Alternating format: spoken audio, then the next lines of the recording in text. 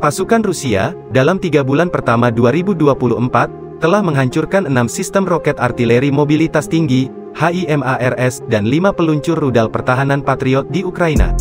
Hal itu disampaikan Menteri Pertahanan Rusia Sergei Shoigu. Rusia hancurkan 6 HIMARS dan 5 peluncur rudal Patriot di Ukraina dalam 3 bulan Kamis, tanggal 21 Maret tahun 2024 Rusia klaim sudah hancurkan 6 HIMARS dan 5 peluncur rudal Patriot di Ukraina dalam 3 bulan pertama 2024. Pasukan Rusia, dalam tiga bulan pertama 2024, telah menghancurkan enam sistem roket artileri mobilitas tinggi, HIMARS, dan lima peluncur rudal pertahanan Patriot di Ukraina. Hal itu disampaikan Menteri Pertahanan Rusia Sergei Shoigu. Rusia sebelumnya mengeklaim telah menghancurkan beberapa HIMARS selama perang skala penuh di Ukraina, yang dimulai sejak Februari tahun 2022.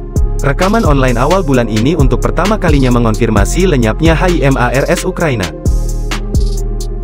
Amerika Serikat telah mengirimkan 39 unit HIMARS ke Ukraina, menurut dokumen Pentagon, dan mengirimkan roket HIMARS tambahan dalam paket bantuan yang diumumkan awal bulan ini.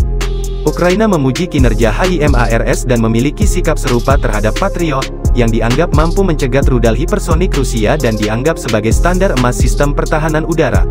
Kyiv telah melobi keras untuk mendapatkan lebih banyak sistem rudal Patriot. Amerika telah mengirimkan satu baterai hingga saat ini, dan Kyiv memperoleh beberapa sistem dari sumber lain. Setiap baterai Patriot memiliki beberapa peluncur yang memuat dan menembakkan rudal. Laporan Newsweek pada Kamis, tanggal 21 Maret tahun 2024, menyebutkan bahwa pada awal bulan ini serangan rudal Rusia menghancurkan dua peluncur Patriot yang sedang dalam perjalanan bersama konvoi pasukan Ukraina. Pasukan Ukraina telah menempatkan baterai Patriot di dekat garis depan. Namun tidak jelas berapa banyak peluncur yang berhasil ditargetkan Rusia. Demikian disampaikan Marina Miron, peneliti pasca doktoral di Departemen Studi Perang di King's College London, kepada Newsweek. Sejak awal tahun 2024, Rusia mengeklaim telah menghancurkan serangkaian peralatan yang dipasok oleh Barat dan dioperasikan oleh Ukraina. Analis Barat dan sumber-sumber Ukraina menyatakan bahwa Rusia telah menyesuaikan tekniknya. Mempersingkat waktu antara menemukan aset-aset utama Ukraina dan menyerang peralatan sebelum Kyiv dapat memindahkan sistem seperti HIMARS ke tempat lain. Soigu juga mengeklaim pada hari Rabu bahwa Kyiv telah kehilangan 4 tank Abrams buatan AS, 27 kendaraan tempur infanteri Bradley, dan 5 tank Leopard buatan Jerman. Militer Ukraina belum bersedia berkomentar atas klaim Soigu. Brigade Mekanik terpisah ke 47 Ukraina. Menggunakan Abrams dan Bradley dalam bentrokan sengit di sekitar kota Avdivka di Donetsk, yang direbut Rusia pada pertengahan Februari, dan dalam pertempuran berikutnya di sebelah barat pemukiman strategis tersebut. Menurut Miron, tank-tank barat seperti Abrams baru saja mencapai garis depan pertempuran, namun operasi mereka tertahan oleh gempuran Rusia.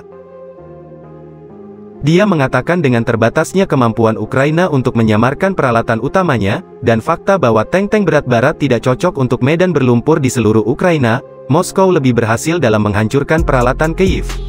Soigu, dalam pernyataannya, menambahkan bahwa Ukraina telah menderita sekitar 71.000 korban jiwa sejak Januari tahun 2024. Angka ini sangat mirip dengan jumlah korban di pihak Rusia yang dikemukakan oleh militer Ukraina.